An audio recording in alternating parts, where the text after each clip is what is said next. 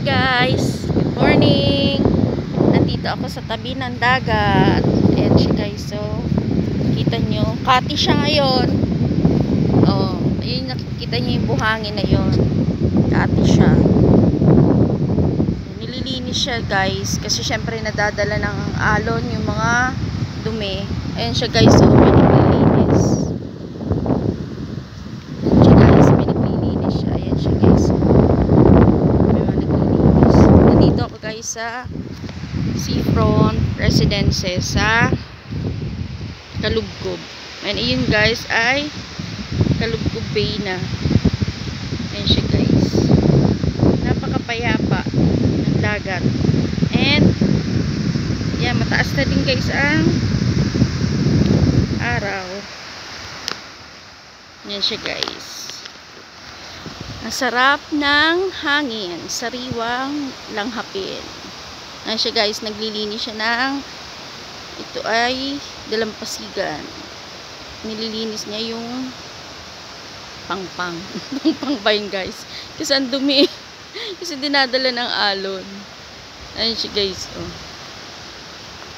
Ayan siya guys ang Seafront Residences. Ayun ang kanilang watchtower.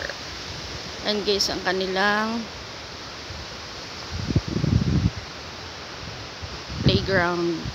And ayun ang kanilang building. Admin building.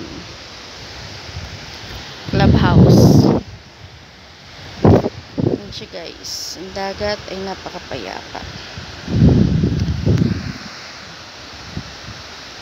Ayan guys, naglilinis. Ayan, naglilinis naman dito guys. And ayun guys, may nagsiswimming na rin dun guys. Yan mga cottages yan guys. Kasi yan ay Kalubkob Bay na. Ito guys ay Kalubkob, San Juan, Batangas. Napapalibutan kami guys dito ng dagat. Papunta dun guys sa dulo-dulo ay Laiya. Mas lalong tabi-tabi na guys doon ang mga beach. Yan siya guys. Napakapayapa ng sounds. Nakaka-relax. And at the same time, fresh ang hangin. Nilalanghap ko guys. Yan siya guys. Ayun yung bundok ng Karalala. Ay, hindi guys. Bundok ng Sariaya. Quezon na yun guys. Yan siya guys. Yan guys yung mga naglilinis. Kati siya guys guys, oh, para may island na maliit.